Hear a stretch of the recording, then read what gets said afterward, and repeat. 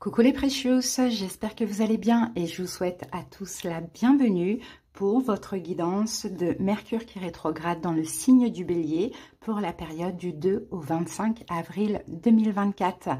Donc il y aura une guidance bien détaillée par signe astrologique. Donc n'hésitez pas les amis à aller voir votre signe solaire, ascendant, le lunaire aussi, qui peut être très important pour ces guidances. Donc Mercure rétrograde dans le signe du bélier, signe du bélier donc euh, qui est... Euh, qui est dirigé par, euh, par Mars. Mars est la planète de l'énergie, de l'action, de l'initiative. Hein. Mercure, planète de la communication ou de, et de l'intellect. Donc pendant cette période de Mercure rétrograde, peut-être un manque euh, d'initiative, un manque d'action, un manque d'énergie. D'accord? Donc ce sera le moment bien sûr, de travailler sur nous, les amis. Hein. D'accord? Donc, on va euh, regarder quelle je, nous allons utiliser pour cette guidance. Donc, on va commencer par euh, ce qui se joue. On va aller voir ce qui se joue pendant cette période avec l'oracle Béline de Gabriel Sanchez. On va clarifier avec la lunologie. On va aller voir ce que vous avez besoin avec mes, petites prières pour guérir avec l'aide des anges. Vous allez avoir aussi une petite prière à réciter de temps en temps. Pour ceux qui en ont besoin. Ensuite, on va faire notre taroscope. On va aller voir la situation, le défi, les possibilités, les conseils et l'évolution avec la triade recouvert du Oshozen Tarot. Et à la fin de la guidance, je vous prendrai un petit message de ce, cet oracle livre Instant Magique. Voilà les amis, j'espère vraiment que cette petite guidance va vous plaire, va vous parler, va vous aider. Je vous invite, comme d'habitude, hein, et ça soutient vraiment la chaîne et mon travail, l'énergie que je mets dans cette chaîne, à liker la vidéo, à commenter. Abonnez-vous pour ceux qui ne le sont pas encore, qui aiment ma façon de procéder ou qui passent par là. Merci à toutes les personnes qui sont abonnées. Je souhaite un excellent anniversaire à tous les béliers. Je vous souhaite vraiment du fond du cœur plein de belles choses. Et pour ceux qui désiraient aller voir dans le détail de la guidance, euh, donc quelque chose de personnel selon votre situation propre, sachez que vous pouvez me consulter. Vous avez tout simplement à taper sur le titre de la vidéo, vous avez la barre d'infos qui s'affiche et là vous avez tous les moyens pour me joindre. Je vous mettrai d'ailleurs même ça en commentaire, pourquoi pas pour une fois. Allez les amis, je vous embrasse. Je vous dis à très bientôt pour d'autres guidances comme d'habitude. Vierge, j'espère que vous allez bien. C'est parti pour la guidance. Allez, on va aller voir ce qui se joue pendant cette période de Mercure qui rétrograde en bélier pour vous les vierges. C'est parti. Alors, ben, on a la carte des plaisirs, super. Bon, bah écoutez, c'est possible que euh, pendant cette période, vous soyez euh, joyeux. Euh, vous avez envie de vous faire plaisir. voilà, ça peut être aussi des plaisirs simples. Hein. en tout cas, il y, a, voilà, il y a des choses qui vont vous faire plaisir. Vous allez être dans une belle énergie, une belle, une belle vitalité aussi. Donc franchement, c'est très c'est très bien, très convivial aussi, pourquoi pas avoir envie de, voilà d'être entouré de certaines personnes. N'hésitez pas d'ailleurs à aller voir votre guidance pour la pleine lune en balance qui arrive au même moment, euh, qui est déjà là d'ailleurs. Donc n'hésitez pas, hein, vous pouvez croiser les informations, mais voilà, on a une belle énergie de, plaisir, d'amour, de simplicité, de réjouissance, de convivialité. Super. Allez, on va clarifier ça les vierges. Alors, qu'avons-nous? Croyant l'impossible.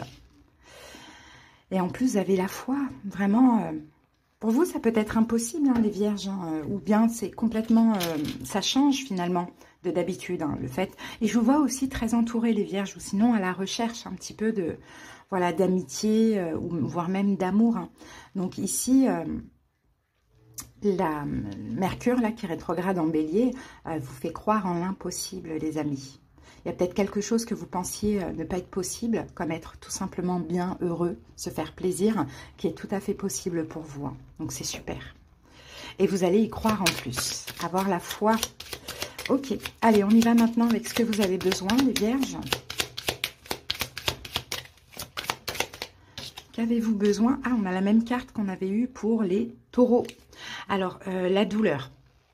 Vous n'avez pas besoin de douleur, bien évidemment, mais vous avez besoin en tout cas de dépasser peut-être une douleur. Alors ça peut être une douleur physique, hein, de par euh, la santé, pourquoi pas, euh, émotionnelle ou psychologique. Hein. Donc c'est peut-être pour ça que vous allez vous ouvrir au monde, euh, ou sinon vous faire plaisir, voilà, retrouver une, espèce de, vie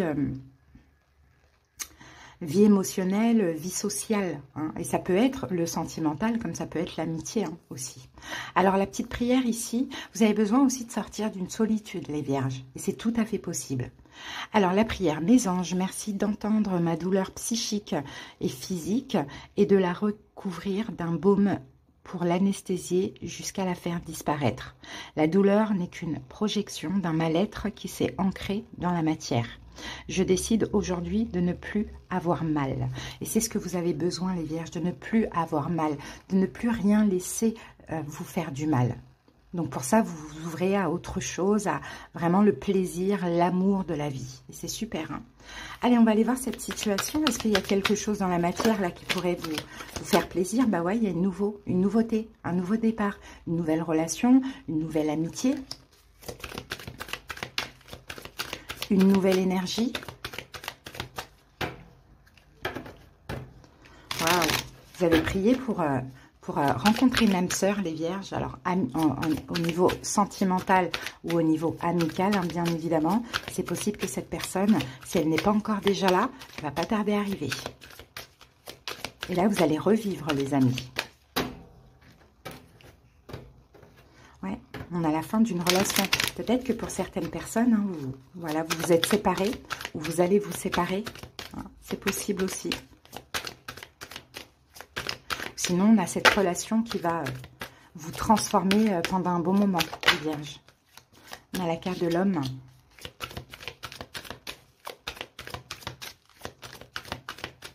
Allez, c'est parti.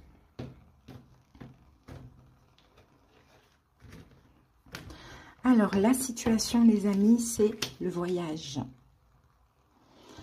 Votre défi, la porte, les possibilités erreur, le conseil racine et l'évolution méditation. Ok. Allez, c'est parti, on va recouvrir du Oshozen Tarot. Donc là, on a la carte dans, les, dans la situation, on a la carte du voyage. Et le voyage, c'est quoi? C'est un avancement, c'est un, on avance, on y va, on fonce. Le voyage, ça peut être un déplacement, ça peut être l'étranger, les vacances, le week-end, ça peut être les échanges, la communication, ou tout simplement on se laisse embarquer hein, dans cette situation. C'est un nouveau départ pour vous.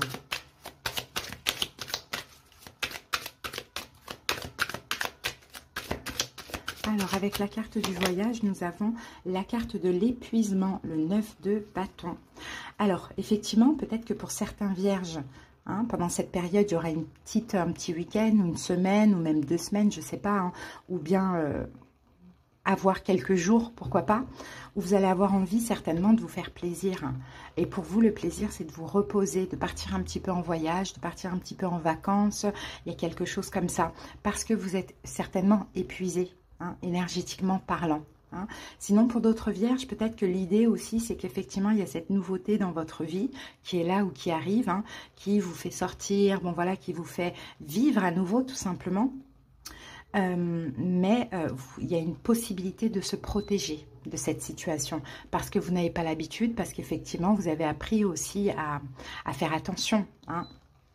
Donc ça, c'est possible. On va recouvrir tout de suite une autre carte pour comprendre. Ouais, on a la carte du fardeau. Donc, vous voyez, le fardeau, c'est, on peut aussi nous parler de, voyage hein, avec la carte du 6 d'épée. Hein, le 6 d'épée, généralement, c'est un personnage qui est sur sa barque, qui passe un petit peu d'une rive à l'autre. Donc, c'est fort possible hein, qu'il y a certains vierges là qui partent un petit peu en voyage, peu importe euh, le, nombre de jours parce que vous êtes épuisé, parce que vous êtes fatigué. Et là, effectivement, ça aussi, c'est se faire plaisir. Et en plus de ça, vous pourriez avoir une belle surprise, une belle rencontre. Hein. Sinon, pour d'autres, effectivement, il y a déjà cette nouveauté dans votre vie où elle va pas tarder à arriver. On avait vu tout à l'heure une âme sœur hein, qui vous fait un peu sortir de votre zone de confort, mais ça peut être difficile pour vous d'y aller parce que maintenant, vous avez appris aussi à vous protéger. Hein, de toute tromperie, trahison et de toute relation euh, évidente dès le début parce que vous avez déjà connu. et ça n'a pas forcément fonctionné. Bon, votre défi, c'est la porte, c'est de vous ouvrir. Hein, c'est d'ouvrir cette porte. Votre défi, c'est de la nouveauté là, qui est là dans votre vie ou qui arrive dans votre vie. Hein.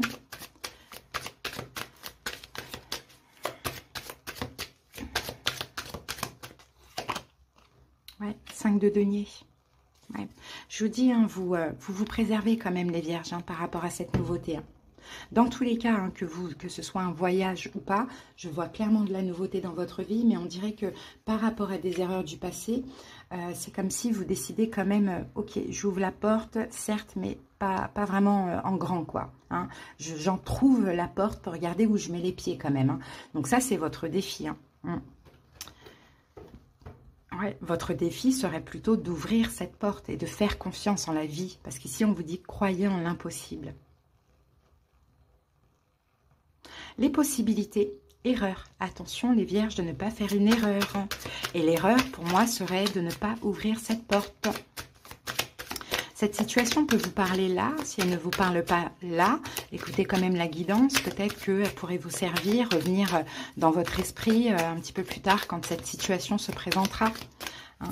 Donc, une erreur. Et l'erreur, pour moi, clairement, c'est pas d'y aller. Hein. C'est euh, justement de ne pas accepter cet épanouissement à cause de vos doutes, à cause de vos fausses projections, finalement, à cause de vos comparaisons avec le passé.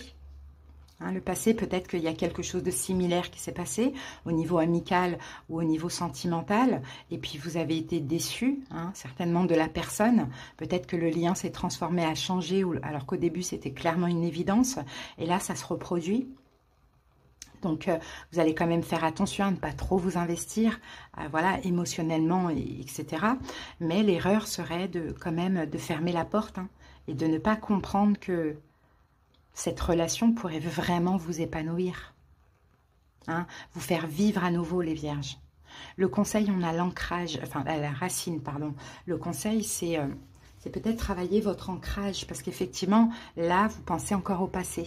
Dans le sens, il y a cette nouvelle, moi je pense que c'est une nouvelle situation, mais vous comparez au passé. Donc c'est qu'il y a un manque d'ancrage. Ok, même si on a quand même de l'apprentissage. Hein, derrière ça, il faut tirer les leçons du passé, mais il ne faut pas non plus complètement se fermer. Donc travailler votre ancrage, ça peut être par euh, avec des pierres, des pierres foncées, des pierres noires pour se libérer du passé. Ça peut être par de la méditation, des soins,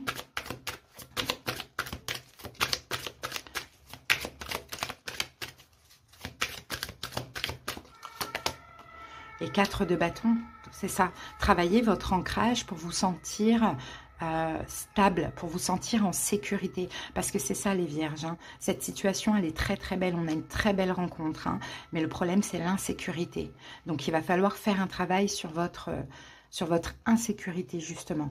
Hein, et lâcher le passé, du moins au niveau émotionnel. Mais de toute manière, les blessures ou les peurs, quand elles ressortent, euh, il faut... Euh, il faut agir contre en fait. Il faut euh, faut pas accorder de l'importance et, rien faire, surtout si votre cœur vous, vous appelle à aller, parce qu'on a le plaisir quand même. Hein. Pour vous, ça semble être quelque chose d'impossible et finalement, c'est tout à fait, euh, tout à fait euh, possible et palpable pour vous ce qui se passe là.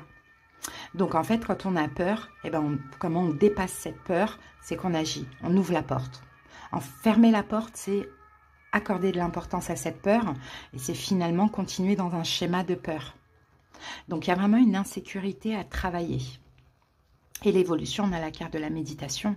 Donc, vous allez être serein dans l'évolution. Hein. Vous allez être en paix avec cette situation.